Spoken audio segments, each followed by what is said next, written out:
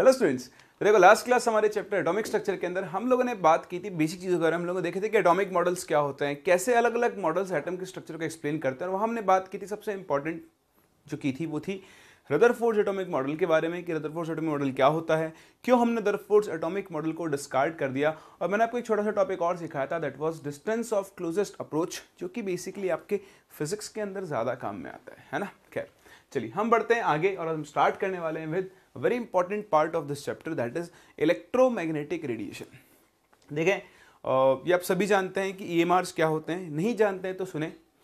कुछ रेडिएशंस ऐसे होते हैं जिनको ट्रैवल करने के लिए मीडियम की ज़रूरत होती है। Like sound waves sound energy जो है, वो मीडियम के बिना ट्रैवल नहीं कर सकती। अगर आपके और मेरे बीच में वैक्यूम है, अभी तो नहीं है, लेकिन अगर है तो मेरी आवाज़ आप तक कभी नहीं पहुँच सकती। तो साउंड को ट्रैवल करने के लिए क्या होती है? मीडियम की ज़रूरत होती है। लेकिन कुछ रेडिएशंस ऐसे भी होते हैं जिनको ट्रैवल करने के लिए मीडियम की ज़रूरत नहीं होती है। तो ऐसे रेडिएशंस एनर्जी के ऐसे रेडिएशन जिनको ट्रैवल करने के लिए मीडियम की ज़रूरत नहीं होती है, उन्हें हम इलेक्ट्रोमैग्नेटिक रेडिएशंस के नाम से जानते हैं। किसके नाम से जानते हैं? इलेक्ट्रोमैग्नेटिक रेडिएशंस के नाम से। तो आप सबसे पहले तो बात करें कि इलेक्ट्रोमैग्नेटिक रेडिएशंस की प्रॉपर्टी क्या होती है। देखें, हम अगर ई e को डिस्कस करें बेसिकली हम यहाँ पर लाइट पढ़ने वाले लाइट ये जो लाइट आपको आती हुई दिख रही है ना? लाइट का डुअल नेचर होता है, आपने सीखा है ठीक? तो मैं आपको पहले बेसिक क्राइटेरिया बता दूँ। हम लाइट का नेचर दो साइंटिस्ट ने अलग अलग तरीके से डिफाइन किया था। एक तो कहा था मैक्सवेल ने। तो अभी हम जो पढ़ने वाले हैं, वो मैक्सवेल्स ई थ्योरी है। और फिर हम बात करेंगे प्लैंक्स की थ्योरी की। तो दोनों का अगर मैं आपको ओवरव्यू दूँ तो मैक्सवेल ने तो लाइट के वेव नेचर को सपोर्ट किया था। उसने कहा था कि लाइट किसकी फॉर्म में ट्रेवल करती है? वेव की फॉर्म में ट्रेवल करती है। जबकि प्लैंक ने इसके पार्टिकल नेचर को सपोर्ट किया था। तो दोनों के ही हम कुछ एक्सट्रैक्ट्स निकालेंगे और फिर दोनों को कंबाइन करके हम ये सीखेंगे कि लाइट का नेचर कई जगह वेव होता है और कई जगह क्या होता है? उसका पार्टिकल नेचर होता है। समझ रहे आप इस बात को? चलिए तो हम स्टार्ट करते हैं विद सबसे पहले तो ई e क्या होता है? तो देखो इलेक्ट्रोमैग्नेटिक रेडिएशन ये एक ऐसा रेडिएशन होता है जिसमें दो तरह के फ़ील्ड होते हैं। एक इलेक्ट्रिक फ़ील्ड होता है और साथ में क्या होता है, एक मैग्नेटिक फ़ील्ड होता है। थोड़ा सा आप ध्यान से देखना है यहाँ पे। अगर मैं आपको ये समझाने की कोशिश करूँ ई एम आर तो मैं छोटा सा डायग्राम बना रहा हूँ। डायग्राम थोड़ा सा आपको अजीब सा लगेगा क्योंकि इसमें मिक्सिंग हो जाती है। मैं कोशिश करूँगा कि मिक्सिंग ना हो बट स्टिल थोड़ी बहुत तो होती ही है। तो देखो, इसमें क्या होता है, ये इस डायरेक्शन में तो हमारी वेव मूव कर रही है। डायरेक्शन ऑफ़ प्रोपोगेशन ये उस रेडिएशन के मूव करने की डायरेक्शन है। मैक्सवेल ने कहा था अकॉर्डिंग टू मैक्सवेल ठीक ई एम आर जिसको बेसिकली हम लाइट वेव हमारी ई एम आर के अंदर आती है, ठीक E M R travels in the form of waves तो जो आपका ईएमआर है इलेक्ट्रोमैग्नेटिक रेडिएशन वो किसकी फॉर्म में ट्रेवल करता है? वेव्स की फॉर्म में ट्रेवल करता है। तो देखो, ये इस वेव की डायरेक्शन ऑफ़ प्रोपोगेशन है। इस ईएमआर में दो फ़ील्ड होते हैं। एक होता है इलेक्ट्रिक फ़ील्ड तो अगर ये एक्स डायरेक्शन है तो ये आपकी वाई डायरेक्शन है। और ये जो डायरेक्शन है, ये सपोज़ अपनी जेड डायरेक्शन है। ठीक? यहाँ पर आपका मैग्नेटिक फ़ील्ड होगा। इस जेड डायरेक्शन के लो। तो होता क्या है? इलेक्ट्रिक फ़ील्ड का जो कंपोनेंट होता है वैसे वेव की फॉर्म में ट्रेवल करेगा। समझ लो इससे नीचे जाएगा ऐसे।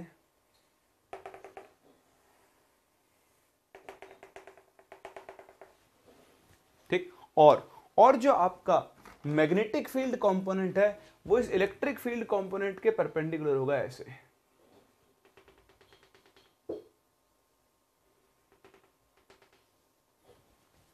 समझ रहे हो? तो देखो इलेक्ट्रिक फ़ील्ड कंपोनेंट ये और मैग्नेटिक फ़ील्ड कंपोनेंट दोनों एक दूसरे के क्या होते हैं? परपेंडिकुलर और जो डायरेक्शन ऑफ़ प्रोपोगेशन होती है, वो इन दोनों के क्या होती है? परपेंडिकुलर तो बेसिकली ईएमआर में दो तरह के फ़ील्ड होते हैं. एक इलेक्ट्रिक फ़ील्ड होता है, एक मैग्नेटिक फ़ील्ड होता है, और वो कुछ इस तरह से होते हैं।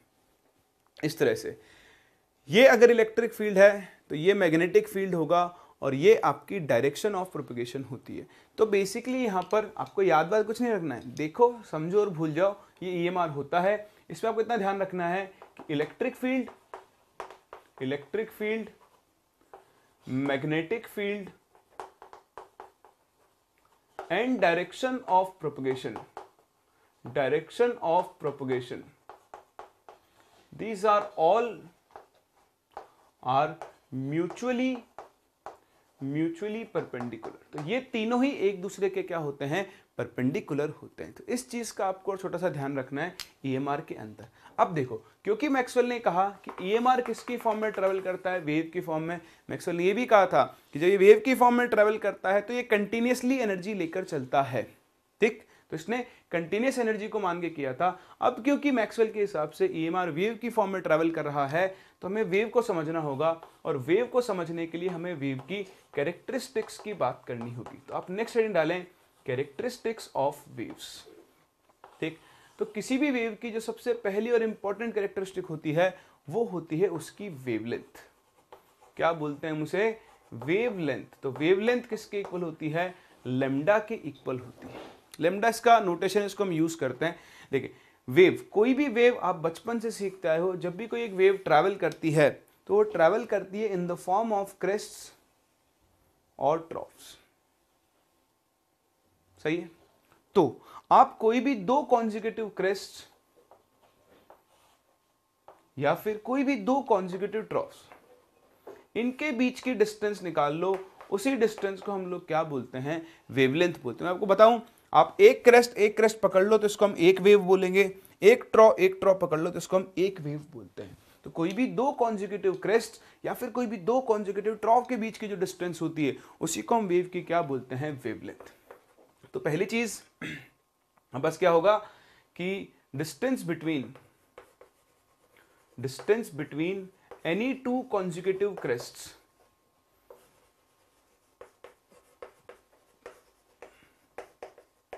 और ट्रॉफ्स ये तो हो गई वेवलेंथ क्या होती है? इंपॉर्टेंट चीज़, क्योंकि वेवलेंथ डिस्टेंस है। तो यहाँ इंपॉर्टेंट है इसकी यूनिट्स इसकी जो ऐसा यूनिट होती है, वो तो होती है मीटर लेकिन एटॉमिक स्ट्रक्चर में आप इसकी बहुत सारी यूनिट्स यूज़ करते हो, जिनमें एक इंपॉर्टेंट यूनिट है एंगस्ट्रॉम जिसको आप ए नॉट से डिनोट करते हो, और वन एंगस्ट्रॉम हाँ very good ten to the power minus ten metre के इक्वल होता है।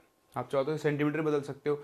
ऐसे इसकी एक और यूनिट होती है, जिसे आप बोलते हो नैनोमीटर एनएम और वन नैनोमीटर किसके इक्वल होता है?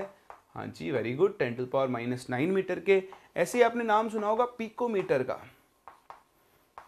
पीएम और जो वन पिकोमीटर होता है, वो ten to the power minus twelve metre के इक्वल होता है। ऐसी एक और यूनिट होती है फेमटोमीटर फेमटो जिसे आप एफएम से डिनोट करते हो और वन एफ़ जो होता है, वो ten to the power minus fifteen metre के आसपास होता है। ठीक? आसपास का एग्जैक्टली यही होता है।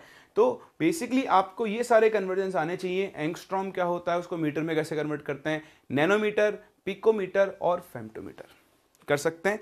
चलिए वेवलेंथ को डिफाइन करने के बाद, आप देखो एक वेव को आप उसकी वेवलेंथ से पहचान सकते हो। जैसे आप बचपन से पढ़ते हो विबग्योर रेड आप बोलते हो रेड की वेवलेंथ ज़्यादा होती है और वॉयलेट की वेवलेंथ क्या होती है? कम होती है। बोलते हैं ना तो वेवलेंथ एक वेव की बड़ी इंपॉर्टेंट कैरेक्टरिस्टिक है और इसी के बाद इसकी सेकेंड बड़ी इंपॉर्टेंट कैरेक्टरिस्टिक है दैट इज़ फ्रीक्वेंसी अगर आप किसी वेव की फ्रीक्वेंसी डिफाइन करना चाहते हो तो देखो फ्रीक्वेंसी हम डिफाइन करते हैं विद रिस्पेक्ट टू टाइम जैसे ये होल्ड होल्डर है, ये ऐसे वाइब्रेट कर रहा है तो इसकी फ्रीक्वेंसी क्या होगी? एक सेकंड में कितनी बार वाइब्रेट कर रहा है? सेम ऐसे ही, हम अगर वेव की फ्रीक्वेंसी डिफाइन करने चलें तो हम सिंपली क्या बोल सकते हैं? It can be defined as number of waves passing through a point, passing through a point पर सेकेंड एक सेकेंड में एक पॉइंट से कितनी वेव्स पास हो रही हैं? उसी को हम लोग क्या बोल सकते हैं? उस वेव की फ्रीक्वेंसी बोल सकते हैं।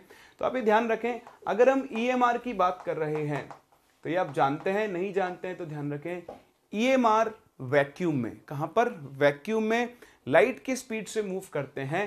इसलिए हम इनके लिए न्यू इक्वल टू क्या लिखकर चलते हैं? सी अपॉन लेमडा हाँ मैंने वैक्यूम में क्यों बोला? मैं आपको भी आगे बताऊँगा बट हाल फ़िलहाल आप ध्यान रखें, अगर आप इलेक्ट्रोमैग्नेटिक रेडिएशन यानी आप लाइट की बात कर रहे हो तो ऑब्वियसली लाइट तो लाइट की स्पीड से ही मूव करेगी। तो इसके लिए nu equal to c upon lambda होता है। लेकिन अगर आपके पास ईएमआर नहीं है, कोई अदर वेव्स हैं तो उन अदर वेव्स के लिए न्यू का फॉर्मूला क्या बन जाएगा? Velocity of wave upon lambda ये कर सकते हैं। चलिए, यहाँ फ्रीक्वेंसी है फ्रीक्वेंसी की अगर मैं यूनिट की बात करूँ तो यूनिट होती है इसकी पर सेकंड जिसे आप हर्ट्स के नाम से भी जानते हो एच जेड एक आपको नोटेशन पता होना चाहिए वन किलो हर्ट्स का मतलब क्या होगा?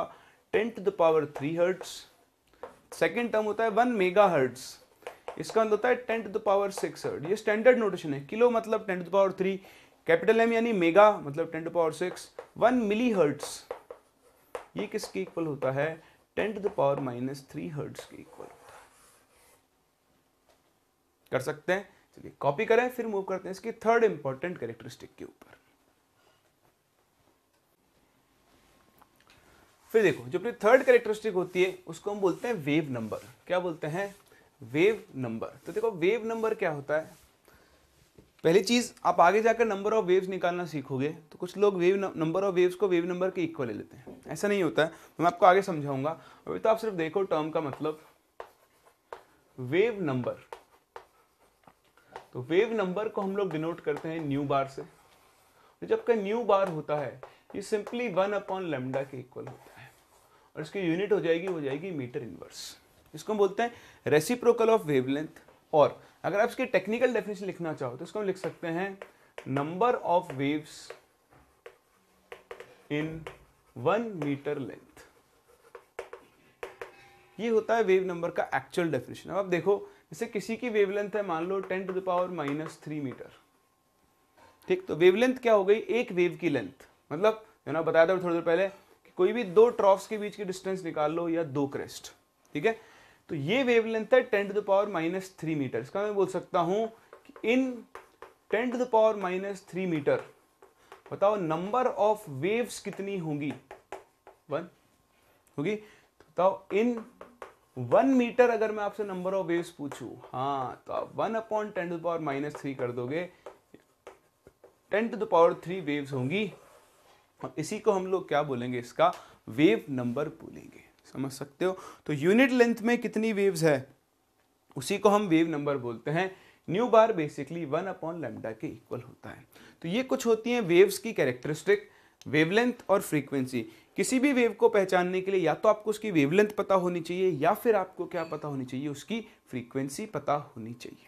चलिए तो ये थी आपकी E M R theory of Maxwell जिसने हमको ये सिखाया कि इलेक्ट्रोमैग्नेटिक रेडिएशन किसकी फॉर्म में ट्रेवल करता है वेव की फॉर्म में ट्रेवल करता है, और इस थ्योरी से उसने रिफ्लेक्शन रिफ्रैक्शन डाइफ्रैक्शन इन सारी चीज़ों को एक्सप्लेन किया। तो मैक्सवेल की जो ई e थ्योरी होती है, वो रिफ्लेक्शन रिफ्रैक्शन डाइफ्रैक्शन इन सब चीज़ों को एक्सप्लेन करती है। लेकिन वहीं पे कुछ फिनोमिना थे जिनको वो एक्सप्लेन नहीं कर सकती। उसकी बात भी हम बात करेंगे, लेकिन हाल फ़िलहाल आप देखें अगर हम अलग अलग ई को कंपेयर करें उनकी वेवलेंथ और फ्रीक्वेंसी के हिसाब से तो आपके पास ये एक छोटा सा स्केल बनता है। यहाँ पर इससे पहले आएँगी कॉस्मिक रेस कॉस्मिक रेस इधर से इधर जाने पर वेवलेंथ इंक्रीज हो रहा है। मतलब वेवलेंथ ठीक, अभी आप आगे चलकर पढ़ोगे, इतना तो आप जानते हो। वेवलेंथ और एनर्जी इन्वर्सली रिलेटेड होते हैं। यानी इधर से इधर चलने पर जो आपकी एनर्जी है वो इंक्रीज हो रही है। ठीक? तो अगर हम वेवलेंथ के टर्म्स में बात करें तो कॉस्मिक रेज की वेवलेंथ सबसे कम होती है, फिर गामा रेज फिर एक्स रेज फिर अल्ट्रा वायलेट रीजन फिर ये देखो छोटा सा जो है, ये है विजिबल रीजन ये आपका विजिबल रीजन 400 एनएम या फिर 4000 एंगस्ट्रॉम से 7500 एंगस्ट्रॉम के बीच में वेरी करता है, जहाँ पे आपका विब ग्योर लाई कर रहा है।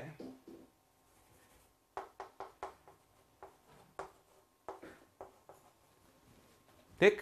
तो 4000 एंगस्ट्रॉम से 7500 एंगस्ट्रॉम के बीच में आपका ये विजिबल रीजन है, जहाँ हम देख सकते हैं। हमें जितने भी चीज़ें दिखाई देती हैं, वो सिर्फ़ और सिर्फ़ कौन से रीजन में होती है? विजिबल रीजन में। बाकी किसी भी रीजन में हम नहीं देख सकते हैं। विजिबल रीजन के बाद आपके पास बनता है इंफ्रारेड फिर आता है माइक्रोवेव और लास्ट में कौन सी आती है? अपनी रेडियो वेव्स जो आप एफएम के अंदर सुनते हैं। सही है?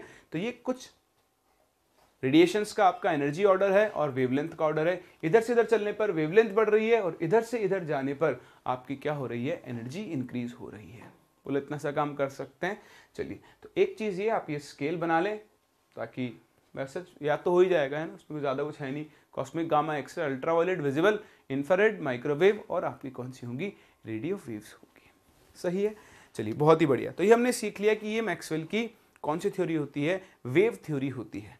अब हम चलते हैं आगे और हम मिलते हैं एक भाई साहब जिनका नाम था प्लैंक। किससे मिलते हैं? प्लैंक से। तो प्लैंक ने कहा कि भाई साहब, ये जो मैक्सवेल जी कह रहे हैं, वो सही है कि लाइट क्या है? रिफ्लेक्शन हो रहा है रिफ्रैक्शन हो रहा है डाइफ्रैक्शन हो रहा है। वहाँ पर तो लाइट की वेव थ्योरी बिल्कुल सही है और वो सब कुछ एक्सप्लेन भी कर रही है। लेकिन वहीं अगर हम कुछ और फिनोमिनाज में आ जाएँ, जैसे फ़ोटो इलेक्ट्रिक इफ़ेक्ट कौन सा? फ़ोटो इलेक्ट्रिक इफ़ेक्ट हम बात कर लें ब्लैक बॉडी रेडिएशन इन चीज़ों को मैक्सवेल की वेव थ्योरी एक्सप्लेन नहीं कर पाई थी। क्या नहीं कर पाई थी? मैक्सवेल की वेव थ्योरी एक्सप्लेन नहीं कर पाई थी। तो इन चीज़ों को एक्सप्लेन करने के लिए प्लैंक ने एक नई थ्योरी दी, जिसे हम प्लैंक्स क्वांटम थ्योरी के नाम से जानते हैं। जहाँ मैक्सवेल लाइट के वेव नेचर को सपोर्ट करता है, वहीं पर प्लैंक क्या करता है? लाइट के पार्टिकल नेचर को सपोर्ट करता है। तो आओ डिस्कस करते हैं क्या होती है प्लैंक्स थ्योरी और क्या प्लैंक ने कहा? देखें हेडिंग डाले नेक्स्ट प्लैंक्स क्वांटम थ्योरी फिर हम इन दोनों को कंबाइन करेंगे और इनके कॉम्बिनेशन जो रिज़ल्ट बनेंगे, उनको हम लोग यहाँ पर यूज़ करेंगे। तो प्लैंक्स क्वांटम थ्योरी क्या कहती है? बहुत सिंपल प्लैंक्स क्वांटम थ्योरी ये कहती है कि जब भी लाइट ट्रेवल करती है एनर्जी ट्रेवल करती है energy is transmitted in form of small packets छोटे छोटे पैकेट्स की फॉर्म एनर्जी क्या होती है? ट्रैवल करती है। ऑल आपको ऐसा लगता नहीं, जैसे अभी मेरे ऊपर जो लाइट लगी हुई मुझ पर गिर रही है तो क्या मेरे ऊपर लाइट के पैकेट आके गिर रहे हैं? एक्चुअली तो हाँ लेकिन अगर ऑब्ज़र्व कर रहे हैं तो मुझे तो लाइट कंटिन्यूसली आती हुई दिखाई दे रही है।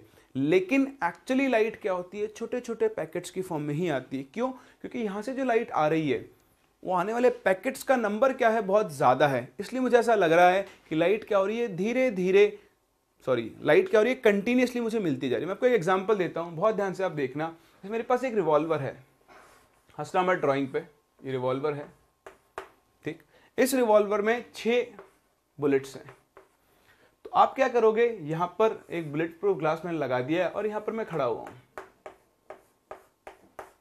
ठीक? आपने क्या किया? मैं यहाँ ऑब्ज़र्व कर रहा हूँ। आपने यहाँ से एक बुलेट फायर की। तो आपने यहाँ से एक बुलेट फायर की। तो बताओ, ये बुलेट आएगी और जाकर इस फॉल से टकराएगी। ग्लास अच्छी क्वालिटी का है तो मतलब ये मुझे हिट नहीं करेगी ना बुलेट प्रूफ ग्लास है। तो हुआ क्या, मैं अगर ऑब्ज़र्व करूँ, वहाँ से एक बुलेट आई। इस बुलेट को मैं एनर्जी का एक पैकेट बोल सकता हूँ। तो ये बुलेट कुछ सर्टन अमाउंट ऑफ़ एनर्जी लेकर चल रही है, और जब ये इस वॉल से टकराएगी, अपनी सारी एनर्जी इस वॉल को ट्रांसफ़र कर देगी। सेम ऐसे ही हम दूसरी बुलेट को फायर करेंगे, फिर एक और पैकेट आएगा, तीसरा, एक और पैकेट, चौथा, एक और पैकेट। इस तरह से टोटल छह पैकेट ऑफ़ एनर्जी मेरे पास आ जाएँगे। बताओ एनर्जी मुझे कंटिन्यूसली मिल रही है या डिसकंटिन्यूसली मिल रही है? डिसकंटिन्यूसली मिल रही है ना? चलिए, अब इसको हम क्या करते हैं? रिप्लेस कर देते हैं एक ऑटोमेटेड राइफल से। ये एक बहुत ही आधुनिक मतलब मॉडर्न राइफल है। और ये एक सेकंड में 200 राउंड फायर करती है 200 राउंड्स पर सेकंड मतलब एक बार ट्रिगर दबाओ और भूल जाओ सामने कौन है। एक ट्रिगर दबाया, यहाँ से एक साथ आपकी लगातार धड़ाधड़ धड़ाधड़ धड़ाधड़, कितनी बुलेट्स आएँगी? 200 बुलेट्स आएँगी। मैं यहाँ खड़ा हूँ, मेरे पास लगातार आगे कितनी बुलेट्स गिर रही होंगी? 200 बुलेट्स बताओ, इस टाइम पर मुझे लगेगा कैसा कि एनर्जी क्या आ रही है? कंटिन्यूसली कितनी आ रही? कंटिन्यूसली लेकिन एक्चुअली तो एनर्जी अब भी कैसे आ रही है? डिसकंटिन्यूसली वही बुलेट, वही पैकेट उस एनर्जी को क्या हो रहा है, लेकर चला है। आप सोचो 200 में ही मुझे कंटिन्यूस दिख गया तो जो मेरे सिर के ऊपर लाइट गिर रही है, इसमें तो 10 टू द पावर 23 इतने सारे पैकेट्स एक सेकंड में आके गिर रहे हैं तो आपको फील ही नहीं हो सकता है कि ये एनर्जी आपको डिसकंटिन्यूसली मिल रही है। लेकिन एक्चुअल फंडा तो यही है कि आपको एनर्जी कैसी मिल रही होगी कंटिन्यूसली डिसकंटिन्यूसली ही मिल रही होगी। तो बस यही होती है आपकी प्लैंक्स क्वांटम थ्योरी जो मैंने आपको यहाँ पे समझाई, चलिए। ये तो ये बातें, क्या होती है, क्या नहीं होती है। अब लिखते हैं इसके स्टेटमेंट तो आप लिखें according to Planck's according to Planck's energy is transmitted energy is transmitted in form of small packets और यूनिट्स लाइक जैसे वो एक बुलेट थी तो वो एक स्मॉल पैकेट था। और इन पैकेट्स को हम लोग क्या बोलते हैं? कॉल्ड क्वांटा किसके नाम से जानते हैं? क्वांटा के नाम से जानते हैं। ठीक है? तो प्लैंक्स क्वांटम थ्योरी ये कहते हैं कि एनर्जी हमेशा किसकी फॉर्म में ट्रेवल होती है? छोटे छोटे पैकेट्स की फॉर्म में ट्रेवल होती है। और इन छोटे छोटे पैकेट्स को हम किसके नाम से जानते हैं? क्वांटा के नाम से जानते हैं। एक चीज़, अगर आप लाइट एनर्जी की बात कर रहे हो in case of light energy these packets, या क्वांटा आर कॉल्ड फोटोन्स ठीक? तो लाइट की प्रेजेंस में सॉरी लाइट एनर्जी के केस में हम इन छोटे छोटे पैकेट्स को क्या बोलते हैं क्वांटा मतलब लाइट का जो एक पैकेट आ रहा है एनर्जी का, वो एक फोटोन कहलाता है। चलिए, अब फोटोन की बात आ गई है तो आप फोटोन के बारे में कुछ इंपॉर्टेंट चीज़ें देख लें, जो आपको पता होनी चाहिए। बस पता होनी चाहिए, इनके पीछे मत पढ़ना मैं आपको बताऊँ, जब मैं पढ़ता था, खुद पढ़ता था, तब क्या होता था ना, हमारे टीचर हमें बोलते थे कुछ फोटोन्स के बारे में कि बताओ फोटोन्स का रेस्ट मास होता है, नहीं होता है, तुम ढूंढ के लाना, फोटोन्स दिखता कैसा होगा। तो हम क्या करते थे, उसी के चक्कर में घूमते थे और फोटोन, हमारे दिमाग में कन्फ्यूज़न क्रिएट हो गया था कि फोटोन होता क्या है, दिखता कैसा है। अब उसके चक्कर में मतलब मैंने सब कुछ, वो छोड़ ही दिया जो मेरे काम की चीज़ थी, कि एक्चुअली मुझे फोटोन से करवाना क्या है। जैसे कई साइंटिस्ट प्रवृत्ति के आपको टीचर भी मिल जाएँगे, जो आपको फोटोन की कहानी सुनाते रहेंगे। भाड़ में जाने दो। आपको सिर्फ़ ये पता होना चाहिए कि फोटोन का मतलब क्या है। तो फोटोन का मतलब क्या है? एनर्जी का आने वाला एक छोटा सा पैकेट वो कैसा दिखता है? वो शाहरुख खान की दिखता है या सलमान खान की तरह दिखता है? मुझे उससे कोई मतलब नहीं है। इस रिसर्च के पीछे प्लीज़ ना भागें। आपका टाइम वेस्ट होगा। फोकस करें काम की चीज़ों पर। ठीक? तो मैं कैरेक्टरिस्टिक बता रहा हूँ। देखें, समझें और जाने दें। मेन चीज़ फोटोन एनर्जी लेकर आता है। कितनी लेकर आता है, ये हमको यहाँ पर कैलकुलेट करनी होती है। तो इस चीज़ का आप ज़रूर ध्यान रखें। कैरेक्टरिस्टिक अगर मैं बात करूँ तो एक फोटोन तो फोटोन क्योंकि लाइट का पैकेट है तो it travels with speed of light तो photon travels with speed of light in vacuum तो वैक्यूम में ये किसकी स्पीड से ट्रेवल करता है? लाइट की स्पीड से ट्रेवल करता है। Second the frequency uh, the speed and wavelength. Wavelength of photon. This changes in a medium but its speed sorry its frequency and energy. Remains same हाँ जी, आपने भी सीखा न्यू इक्वल टू होता है सी अपॉन लेमडा तो जब आपका फोटोन वैक्यूम है, तब तो वो लाइट की स्पीड से मूव करेगा. लेकिन जैसे ही वो किसी मीडियम में एंटर करेगा तो उसकी स्पीड बदलेगी, उसकी वेवलेंथ भी बदलेगी. लेकिन दोनों का चेंज एक दूसरे को बैलेंस करता है, इसकी फ्रीक्वेंसी और इसकी एनर्जी हमेशा क्या बनी रहती है? सेम बनी रहती है. ठीक? तीसरी चीज़ तीसरी चीज़ क्या है? फोटोन के बारे में कि the rest mass of a photon is zero rest mass का मतलब देखो, वैसे तो फोटोन कभी रेस्ट पर आता ही नहीं है। वो हमेशा चलता रहता है। लेकिन अगर एक फोटोन रेस्ट पर आ गया तो उसका मास हम कितना लेकर चलेंगे? ज़ीरो ये कैसे हो सकता है? हाँ ये होता है। ये आइंस्टाइंस थ्योरी ऑफ़ रिलेटिविटी होती है, जो कि उनको बताती है कि किसी भी सब मूविंग पार्टिकल का जो मास होता है, वो one minus v square upon c sorry c square v square upon c square के इक्वल होता है। यहाँ पर वी उस पार्टिकल की स्पीड है और सी लाइट की स्पीड के बराबर है, ठीक? तो जब फोटोन रेस्ट पर आ जाएगा तो देखो उसकी वेलोसिटी ज़ीरो हो जाएगी, ठीक है? वेलोसिटी ज़ीरो हो गई तो ये वैल्यू क्या होगी? मतलब ये टर्म ज़ीरो हो जाएगा आपके पास।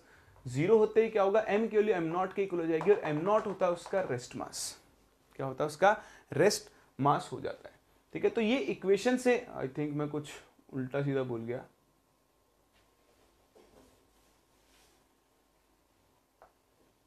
C square minus v square हाँ ठीक है। तो वी स्क्वायर अगर आपका टर्म ज़ीरो हुआ तो देखो ये लाइट की स्पीड से मूव कर रहा होगा उस टाइम पर। अगर वी स्क्वायर को ज़ीरो पुट कर दू मैं तो ये रेस्ट पर आ जाएगा। तो एम की वैल्यू किसकी इक्वल हो जाएगी? एम नॉट के। ठीक है? तो उस टाइम पर हम इसे बोलते हैं इसका रेस्ट मास और फोटोन के रेस्ट मास को हम कितना लेकर चलते हैं? ज़ीरो लेकर चलते हैं। वहीं अगर ये लाइट की स्पीड से मूव कर रहा है तो सी से सी कैंसिल हो गया।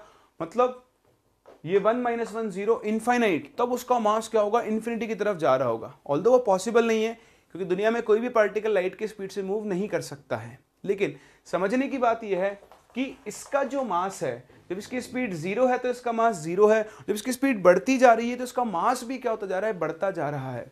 इसका मतलब इस फोटोन का जो मास है, मास तो mass of photon depends on its speed या आप चाहो तो काइनेटिक एनर्जी भी बोल सकते ठीक है? तो इस पर आपको ज़्यादा रिसर्च करने की ज़रूरत नहीं है। छोटे छोटे पॉइंट्स हैं जो आपकी जनरल नॉलेज के लिए हैं। ये आपको पता होने चाहिए। बाकी आपको इनके लिए और कोई टेंशन नहीं लेनी है। समझ गए इस चीज़ को? चलिए तो ये थी प्लैंक्स क्वांटम थ्योरी और ये थी कैरेक्टरिस्टिक्स ऑफ़ फोटोन अब हम बात करें। प्लैंक ने एक बड़ी काम की चीज़ हमको बताई। उसने बोला, उसने डिस्कस किया एनर्जी ऑफ़ फोटोन को कि जो हम पैकेट बोल रहे हैं, इस पैकेट की एनर्जी कैसे निकाली जाए? तो उसने कहा कि देखो, ये आपके पास कोई एक सोर्स है, ये एक लाइट बल्ब हो सकता है। ये कुछ भी हो सकता है। इस सोर्स से क्या हो रहा है? रेडिएशन आ रहा है ईएमआर तो मैक्सवेल ने बताया कि सोर्स से जो रेडिएशन आ रहा है, उसकी कुछ ना कुछ वेवलेंथ होगी, कुछ ना कुछ फ्रीक्वेंसी होगी। तो फोटोन ने यहाँ पर एक चीज़ कही सॉरी फोटोन ने नहीं प्लैंक ने यहाँ पर एक चीज़ कही कि जब फोटोन ट्रेवल करता है फोटोन जब ट्रेवल करता है तो वो किस नेचर को फॉलो करता है? वेव नेचर को। और जब फोटोन किसी सरफेस पर स्ट्राइक करता है तो फिर क्या होता है, उसका नेचर पार्टिकल हो जाता है और वो उस सरफेस को क्या करता है, टकराकर एनर्जी अपनी ट्रांसफ़र कर देता है। तो प्लैंक ने क्या किया, किसी सोर्स से आने वाले इस रेडिएशन की वेवलेंथ को या फ्रीक्वेंसी को, इस फोटोन की एनर्जी से रिलेट किया। उसने बोला कि जो एनर्जी होती है किसी भी फोटोन की it is directly proportional to the frequency of radiation coming from a source इस सोर्स से, जिस फ्रीक्वेंसी से रेडिएशन आ रहा होगा उसी के डायरेक्टली प्रोपोर्शनल इसकी एनर्जी होगी। बताओ, अगर हम प्रोपोर्शनलिटी साइन हटाएँगे तो यहाँ पर क्या आएगा? एक कॉन्स्टेंट हम बोलते हैं h E is equals to h nu ये हो गई आपके पास एनर्जी ऑफ़ अ फोटोन का रिलेशन तो इस फोटोन की जो एनर्जी है, वो किस पर डिपेंड कर रही है कि कहाँ से आपका फोटोन आ रहा है? जैसे मेरे ऊपर जो लाइट लगी है ट्यूबलाइट लगी हुई है, उस ट्यूबलाइट से जो फोटोन आ रहा है, उसकी एनर्जी किस पर डिपेंड करेगी?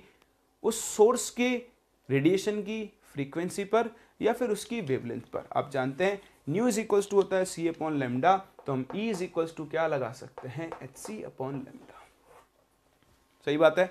ये तो ही एक फोटोन के बारे में। अगर आपके पास एक से ज़्यादा फोटोन्स हैं तो if there are n photons तो बताओ E इज़ इक्वल्स टू क्या बन जाएगा? N into h c upon लिख सकते हैं। तो equal to h c upon lambda एक फोटोन के लिए अगर उस सोर्स से एक से ज़्यादा फोटोन्स आ रहे हैं तो टोटल एनर्जी कितनी हो जाएगी? N into h c upon lambda सही है? कोई दिक्कत है? चलिए तो एक चीज़ तो ये हो गई कि प्लैंक ने क्या कहा और प्लैंक ने कैसे एक फोटोन की एनर्जी को हमें कैलकुलेट करवाया। एक काम करो चलो पहले एक और छोटी चीज़ डिस्कस कर लेते हैं, फिर आप सब कुछ एक साथ ही कॉपी कर लेना। आई होप आपने ये तो लिख लिया होगा, है ना? चलिए तो ये लिख लिया तो इतनी सी जगह खाली कर रहा हूँ। अब क्या होगा हम न्यूमेरिकल्स पे जस्ट आने ही वाले हैं। तो न्यूमेरिकल्स करने से पहले आपको एक यूनिट्स सीखनी है। देखो, हम एनर्जी की बात कर रहे हैं। तो यूनिट्स ऑफ़ एनर्जी जो होती है तो स्टैंडर्ड जो ऐसा यूनिट है, वो तो है जूल पर हम यहाँ पे एक यूनिट और यूज़ करते हैं इलेक्ट्रॉन वोल्ट वन ईवी ठीक? तो ई मैं आपको बता चुका हूँ। ई हम यहाँ पर चार्ज ऑफ़ इलेक्ट्रॉन को बोलते हैं। तो वन इलेक्ट्रॉन वोल्ट को अगर जूल में बदलना है तो कुछ भी मत करो। बस चार्ज ऑफ़ इलेक्ट्रॉन की वैल्यू रख दो। तो वन इलेक्ट्रॉन वोल्ट कितना होता है? 1.6 point six into ten power minus nineteen joule होता है। अच्छा ये जो आपका प्लैंक्स कांस्टेंट होता है एच इसकी वैल्यू तो आपको पता ही है। 6.634 भी लिखते हैं 62 भी लिखते हैं। Into ten to power minus thirty four joules into second होती है। सी आपकी स्पीड ऑफ़ लाइट है, जिसकी value three into ten to power eight metre per second होती है। तो आप ध्यान दें एनर्जी कैलकुलेट करने के लिए आपको हर बार एच और सी की वैल्यू को यहाँ पर रखना होगा। सही बात है ना? तो हम बार बार रखें, इससे अच्छा इस वैल्यू को हम कैलकुलेट करके रख लें। तो हमने क्या किया है? एच सी की दो वैल्यूज़ हमें यहाँ पर याद रखनी होंगी which are very very important h c की एक वैल्यू तो होती है one two four zero electron volt into n m और एक वैल्यू होती है one two four double zero electron volt into angstrom समझ में आ रहा है आपको? एच की एक वैल्यू तो होती है one two four zero electron volt into nm और एक वैल्यू होती है one two four double zero electron volt into angstrom ये थोड़ी सी अप्रोक्सीमेट वैल्यूज़ हैं तो इनसे आंसर्स भी क्या आएँगे? अप्रोक्सीमेट लेकिन ध्यान दें, अगर आपके सोर्स की वेवलेंथ एंगस्ट्रॉम में है तो आप ये फॉर्म यूज़ करके डायरेक्ट उसकी एनर्जी इलेक्ट्रॉन वोल्ट में निकाल लोगे और फिर इलेक्ट्रॉन वोल्ट को आप किसमें कन्वर्ट कर सकते हो? जूल में. सिमिलरली अगर वेवलेंथ नैनोमीटर में है तो आप आसानी से नैनोमीटर यहाँ रख के एन एच सी की वैल्यू निकाल लोगे तो एनर्जी आ जाएगी इलेक्ट्रॉन वोल्ट में, फिर से आप उसको जूल पे कन्वर्ट कर सकते हो। तो these are very very very important इनको आप ज़रूर ध्यान रखें। वैसे तो कैलकुलेशन करते करते अपने को याद हो ही जाएँगे बट फिर भी आप इनको ध्यान रखें। सही है? ये पार्ट आपने कॉपी कर लिया तो ये आप जब तक ये पार्ट कॉपी करो, मैं यहाँ सफ़ाई कर देता हूँ।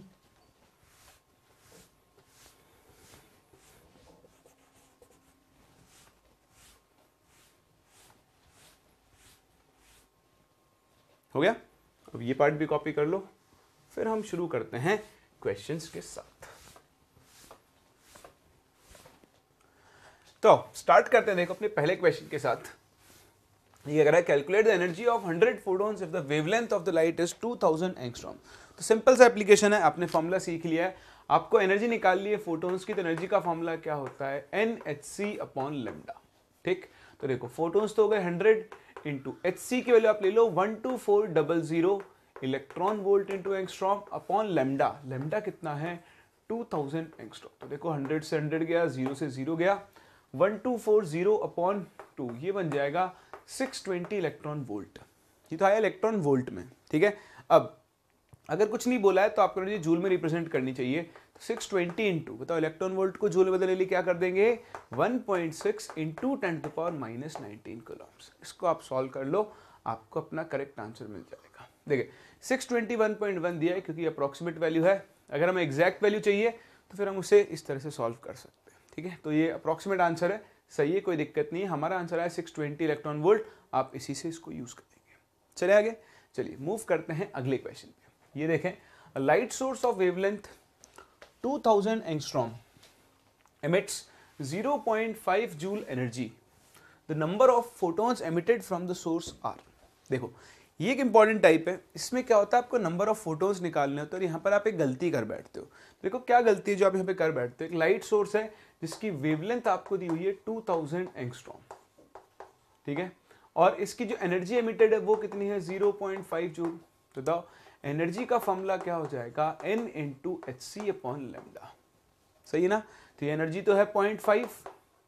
Is equals number of photons आपको निकालना है। बताओ एच सी के लिए हो जाएगी one two four double zero upon two thousand तो भी जस्ट पहले क्वेश्चन किया था? एग्जैक्ट वही है। ये वैल्यू आपको कितनी मिल जाएगी? देखो। सिक्सटी टू यानी six point two electron volt है ना? सिक्सटी टू बाई टेन हो गया six point two the n की वैल्यू कितनी आ गई? Point five upon six point two. अगर आपने ये कर दिया तो आपका गेम हो जाएगा। क्यों हो जाएगा? क्योंकि आपने यूनिट्स पे ध्यान नहीं दिया है। जब भी आपको नंबर ऑफ़ फोटोन्स निकालने हो, देखो, दोनों साइड की यूनिट आपको क्या रखनी है? सेम। इधर है जूल, इधर इलेक्ट्रॉन वोल्ट।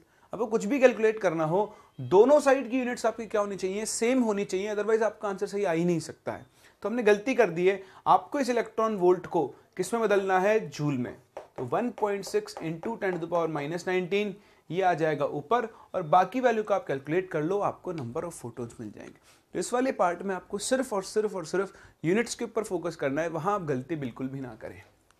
चलिए, फिर देखें नेक्स्ट क्वेश्चन ये भी एक बड़ा ही अच्छा टाइप ऑफ़ क्वेश्चन है, जो कि आपको कई बार कंफ्यूज कर देता है।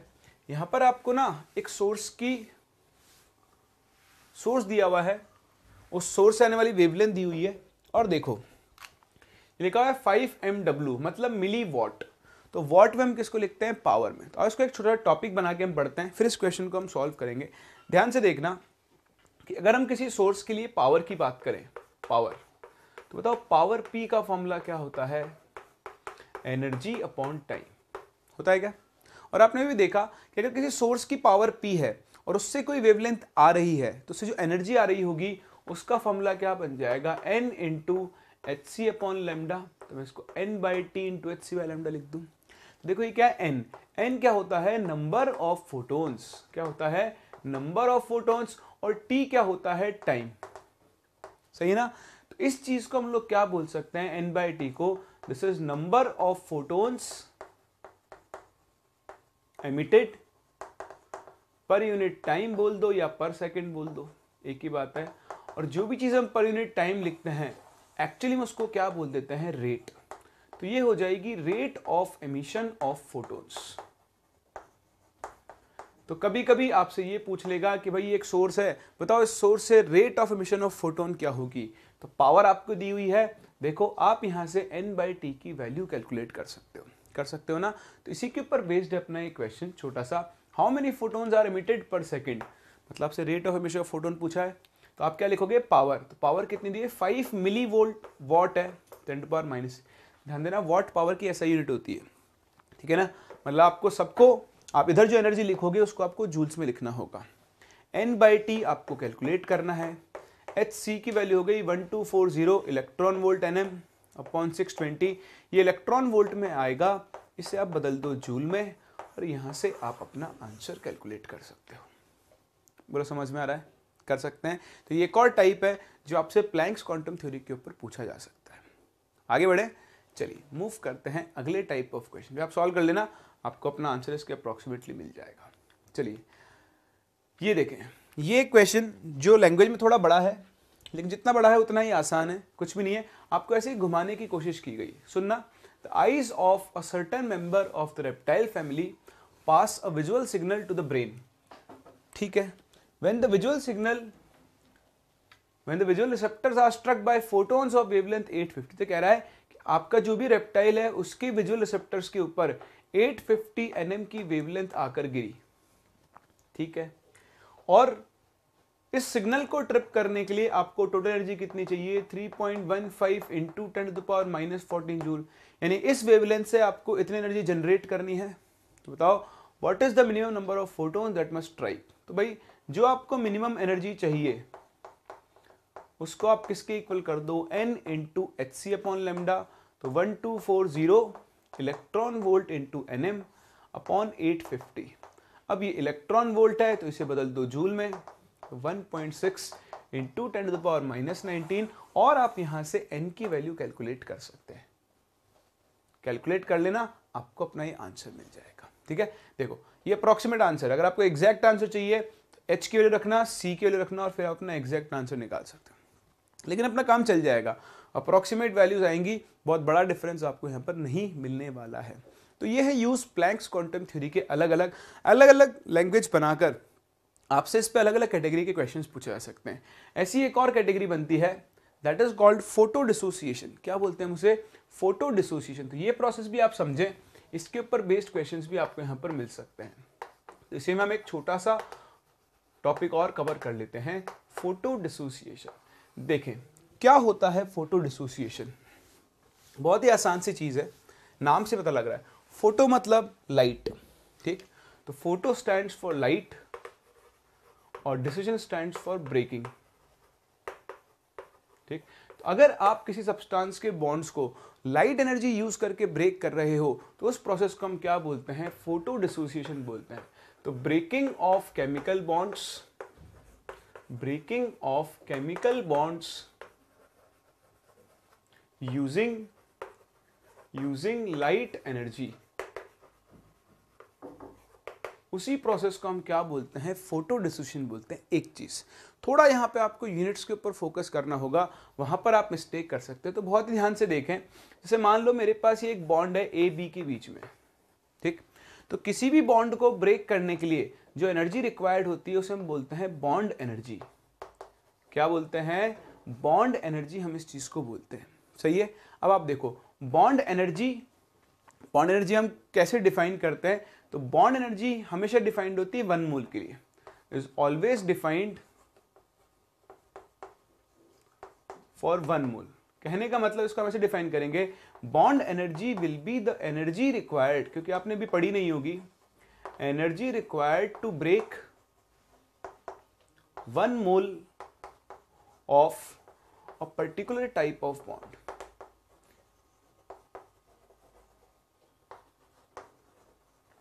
जैसे, अभी आपने एबी में एक बॉन्ड तोड़ा तो ऐसे अगर आप एक mole six into ten power twenty three bonds break करोगे तो जो एनर्जी आपको चाहिए होगी, उसे हम क्या बोलते हैं? बॉन्ड एनर्जी तो इंपॉर्टेंट चीज़ यह है कि बॉन्ड एनर्जी हमेशा पर मोल के लिए डिफाइंड होती है। आप इसकी यूनिट भी देखोगे ना तो आपको जनरली जूल पर मोल या फिर किलो जूल पर मोल ही लिखी हुई मिलेगी। ठीक? तो इससे एक बहुत ही इंपॉर्टेंट चीज़ आपको सीखनी होती है। क्वेश्चन में आपको देखना होता है कि आप एक बॉन्ड ब्रेक कर रहे हो या फिर एक मोल बॉन्ड ब्रेक कर रहे हो। उसको भी हम क्वेश्चन के थ्रू समझ लेंगे। बट हाल फ़िलहाल, इस बॉन्ड को तोड़ने के लिए जो भी एनर्जी चाहिए, बताओ वो आपको किससे मिलेगी? फोटोन से, ठीक है? तो हम क्या बोलेंगे कि the energy required the energy required to break the bond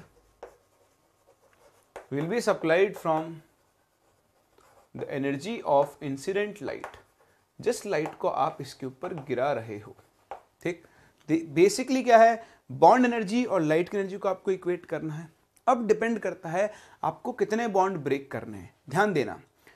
जैसे मैंने बोला कि बॉन्ड की बॉन्ड एनर्जी है एक्स तो यूनिट क्या होगी? एक्स किलोजूल पर मोल तो बहुत ही ध्यान से समझें एक्स किलोजूल पर मोल का मतलब क्या है? That is energy required to break one mole one mole का मतलब कितने बॉन्ड्स हो गए? N bonds x kilo joule per sorry x kilo joule ठीक है ना? एक मोल बॉन्ड तोड़ने की कितनी चाहिए? एक्स किलो जूल अगर मैं आपसे बोलूँ एक बॉन्ड तोड़ना है तो आप देखो energy required to break one bond तो बताओ, एक मोल यानी एन ए बॉन्ड्स को तोड़ने के लिए अगर एक्स किलो जूल एनर्जी चाहिए तो एक बॉन्ड के लिए कितनी चाहिए होगी? हाँ very good x upon n a kilo joule तो ये डिफरेंस है। अगर मैं आपसे एक बॉन्ड तोड़ने को कहूँ तो आपको बॉन्ड एनर्जी को एन से डिवाइड करना होगा। अगर मैं आपसे एक मोल बॉन्ड तोड़ने को कहूँ तो फिर आपको डायरेक्ट अपनी वैल्यू एक्स यूज़ करनी है। ठीक? तो अगर आप एक मोल बॉन्ड तोड़ रहे हो तो हम क्या बोलेंगे? ये x kilo joule should be equal to n into h c upon lambda और अगर आप एक बॉन्ड ब्रेक कर रहे हो तो देखो, एक बॉन्ड तोड़ने के लिए तो आपको एक ही फोटोन चाहिए होगा। ध्यान रखना, एक फोटोन एक ही बॉन्ड ब्रेक कर सकता है। आप चाहो तो इसको पॉइंट बना लिखना one photon can only break one bond एक फोटोन कभी भी एक से ज़्यादा बॉन्ड ब्रेक नहीं कर पाएगा। क्योंकि फोटोन बॉन्ड कैसे ब्रेक करता है? इस बॉन्ड के ऊपर स्ट्राइक करके। तो एक फोटोन स्ट्राइक करेगा। अगर इसकी एनर्जी सफिशिएंट है तो इस बॉन्ड को तोड़ देगा, वरना से नहीं तोड़ पाएगा। अगर आपको एक मोल बॉन्ड तोड़ने हैं तो आपको नंबर ऑफ़ फोटोन्स भी कितने चाहिए होंगे? एक मोल अभी होता है कि आपने सारे फोटोन यूज़ किए, वो सारे के सारे उस बॉन्ड को तोड़ पाए ज़रूरी नहीं है। तो नंबर चेंज हो जाता है बट अभी ध्यान रखें, एक फोटोन से एक ही बॉन्ड ब्रेक कर सकते हो आप, एक फोटोन से दो या दो से ज़्यादा बॉन्ड ब्रेक नहीं कर पाओगे। तो जब आपको एक बॉन्ड ब्रेक करना है तो जो फोटोन आपको यूज़ करना होगा, उसकी energy h c upon lambda की तो आप नंबर ऑफ़ फोटोन निकाल सकते हो, या फिर आप यहाँ से क्या कर सकते हो इंसिडेंट लाइट की वेवलेंथ को भी कैलकुलेट कर सकते हो। समझ रहे इस बात को? चलिए तो एक बार आप इसे कॉपी करें, फिर हम इसके ऊपर क्वेश्चन के थ्रू समझते हैं कि मैं आपसे यहाँ पर क्या कहना चाह रहा हूँ। चलिए तो शुरू करते हैं क्वेश्चन के साथ। देखें calculate the wavelength of the photon of light required to break a Cl Cl bond question की लैंग्वेज से दिख जाएगा। बोल रहा है wavelength of photon required to break a Cl Cl bond एक सीएल सीएल बॉन्ड ब्रेक करना है और उसने एक ही फोटोन की वेवलेंथ भी आपसे पूछी है। तो देखो, पहली चीज़, आपको जो बॉन्ड एनर्जी हुई है वन मोल के लिए तो बताओ एनर्जी रिक्वायर्ड कितनी होगी? 1.204 किलो जूल अपॉन एन होगा? बस, हो गया question solve this should be equal to क्या होना चाहिए? एच सी अपॉन लेमडा ठीक है? अब देखो, आपको यहाँ पर ना एक कन्वर्जन सिखाता हूँ मैं। वैसे तो भी आपको क्या करना है? वैल्यूज़ रखनी है। 1.204 point two zero four into ten to the power three joule N की वैल्यू हो गई 6.023 point zero two three into ten to the power twenty three H हो गया 6.62 point six two into ten to the power minus thirty four और C की value कितनी हो जाएगी? Three into ten to the power eight upon lambda यहाँ से हम लेमडा यानी वेवलेंथ की वैल्यू कैलकुलेट कर सकते हैं। एक तरीका तो ये है। दूसरा तरीका क्या है? देखो, एक कन्वर्जन में आपको सिखाता हूँ। ये आप याद रखना। वन इलेक्ट्रॉन वोल्ट जो होता है वन इलेक्ट्रॉन वोल्ट वो कितना होता है? अप्रोक्सीमेटली 96 किलो जूल पर मूल के हिसाब से होता है। ठीक है? तो आप इसका फ़ायदा उठाओ। देखो, आपको बॉन्ड एनर्जी दी हुई है एक मोल बॉन्ड्स की। कितनी है? 1.204 किलो जूल पर मोल ठीक? तो अगर आप इसको कन्वर्ट करो तो आप क्या कर सकते हो? 1.204 अपॉन नाइन्टी ये वैल्यू आपको मिल जाएगी इलेक्ट्रॉन वोल्ट में। और फिर आप इसको इक्वेट कर दो एच सी अपॉन लेमडा के। तो एच सी की वैल्यू कितनी हो गई? One two four double zero electron volt into angstrom देख रहे हो ना? यहाँ से आप लेमडा की वैल्यू कैलकुलेट कर लो, आपको अपना डायरेक्ट आंसर मिल जाएगा। तो कैसे करोगे आप? लेमडा के लिए आ जाएगी one two four double zero into ninety six upon one point two zero four. और ये वैल्यू आपको डायरेक्टली किसके अंदर मिल जाएगी? एंगस्ट्रॉम के अंदर मिल जाएगी। तो दोनों ही तरीके आपके सामने हैं, आप किसी भी एक तरीके को यूज़ कर सकते हो और वहाँ से आप इस फोटोन की एनर्जी को कैलकुलेट कर सकते हो। तो ये कन्वर्जन आप ध्यान रख लेना कि वन इलेक्ट्रॉन वोल्ट पर एटम बोलते हैं हम इसको, जो होगा वो 96 किलो जूल पर मोल के इक्वल होगा। सही है? इसको कैसे कन्वर्ट करते हैं? मैं बता देता हूँ। देखो, एनर्जी एक एटम के लिए, एनर्जी कितनी है? One electron volt. That is 1.6 point six into ten to power minus तो अगर एक एटम के लिए इतनी है तो बताओ एक मोल के लिए कितनी होगी? तो एक एटम या एक मॉलिक्यूल अगर आप लिखोगे पर एटम पर मॉलिक्यूल तो वो 96 किलो जूल पर मोल के बराबर होगी। तो आप देखो, एक मोल बॉन्ड को तोड़ने के लिए चाहिए 1.204 किलो जूल पर मोल तो अगर हम इसको पर एटम में कन्वर्ट करें तो डिवाइड करोगे 96 से तो ये आ जाएगा इलेक्ट्रॉन वोल्ट पर मॉलिक्यूल है ना? क्योंकि एक सी मॉलिक्यूल है। बस उसको आप एच सी अपॉन लेमडा के इक्वल कर दो, अपने, आपको अपना करेक्ट आंसर मिल जाएगा। सही है? चलिए, ऐसे ही मूव करते हैं अपने अगले क्वेश्चन पे। सेम क्वेश्चन है, बस मैंने थोड़ा चेंज कर दिया है लैंग्वेज को। ये क्या कह रहा है? Calculate the number of photons of light required to dissociate one mole C L two into C L atoms तब आपको एक मोल सी एल टू को ब्रेक करना है। तो देखो, अगर आपको एक मोल सी एल टू को ब्रेक करना है तो जो एनर्जी रिक्वायर्ड होगी, वो इस बार 1.204 किलो जूल होगी। और इसका काम एक फोटोन से नहीं होगा तो N into H C upon lambda solve कर लो। लेमडा दिया है। लेमडा देना भूल गया। इसमें तो आप लेमडा की एक वैल्यू लेना। मान लो मैं आपको 2000 एंगस्ट्रॉम दे रहा हूँ। ठीक है ना? गलती से दिया नहीं है इसके अंदर तो आप ले लो वैल्यू लेमडा की वैल्यू पता है एच पता है। यहाँ से आप नंबर ऑफ़ फोटोन्स कैलकुलेट कर सकते हो। तो बस इनके क्वेश्चन को करते ना ध्यान रखना कि वो आपसे एक C L C L bond break करवा रहा है, या फिर वो आपसे एक mole C L C L bond break करवा रहा है। कर सकते हैं। चलिए तो यही थी अपनी प्लैंक्स क्वांटम थ्योरी और उसके ऊपर बेस्ड कुछ छोटे छोटे टॉपिक्स कंसेप्ट जो आपको यहाँ पर सीखने होते हैं। चलिए प्लैंक्स क्वांटम थ्योरी को सीखने के बाद हम लोग मूव करें अपने अगले टॉपिक पर, जिसका नाम है फ़ोटो इलेक्ट्रिक इफ़ेक्ट क्या कहते हैं हम इसे? हम इसे जानते हैं by the name of photo electric effect तो देखें फ़ोटो इलेक्ट्रिक इफ़ेक्ट जैसे मैंने आपको बताया लाइट का नेचर डुअल होता है। अभी हम आगे चल के और बात करेंगे, है ना? या फिर हम ऐसा करते हैं, चलो ठीक है, बाद में डिस्कस कर लेंगे तो हमने टॉपिक शुरू कर ही लिया है।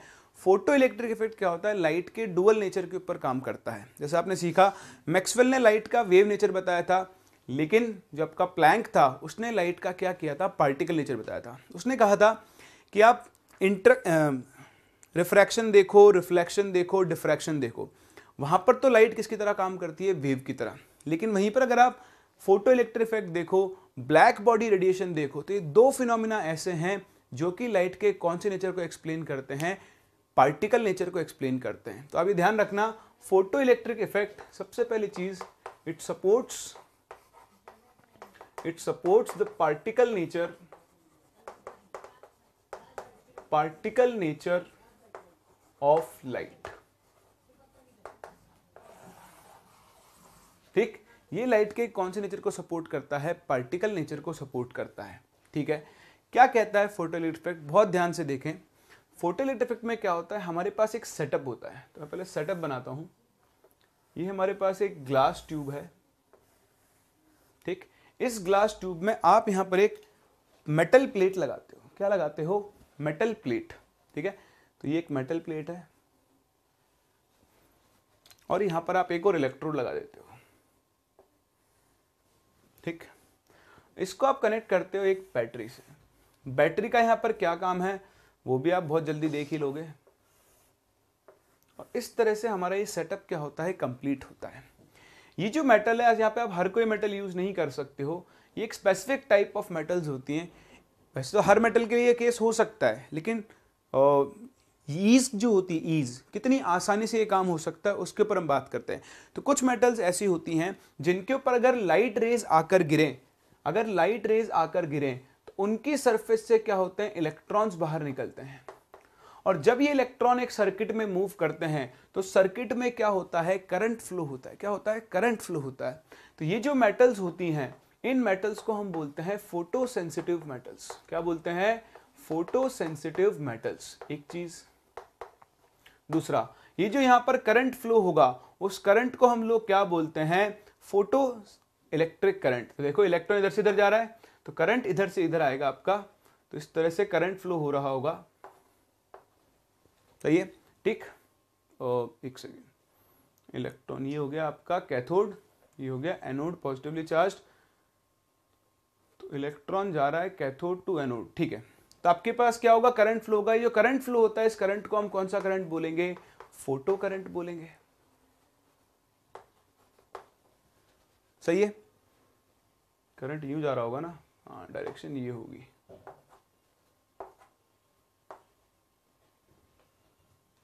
हम्म ठीक है। उल्टे हुए डायरेक्शन तो इसको हम फ़ोटो करंट बोलते हैं। और ये जो इफ़ेक्ट आपने देखा, इसी इफ़ेक्ट को हम क्या बोलते हैं?